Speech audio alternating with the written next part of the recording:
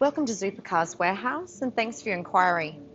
Here we have our 2013 Holden Trax LS. This car is powered by a 1.8 litre four cylinder engine and has a fuel efficiency of 7 litres per 100 kilometres. Comes with 16 inch rims with plenty of tread on all four tyres. The car has also been fitted with rear parking sensors. As we make our way around the back, comes with plenty of space in the boot, with all rear passenger seats that fold forward if you're looking for any more. It comes with a full cloth interior throughout, with lots of space for all passengers. Comes with 5-speed manual transmission and all original head unit, including reverse camera.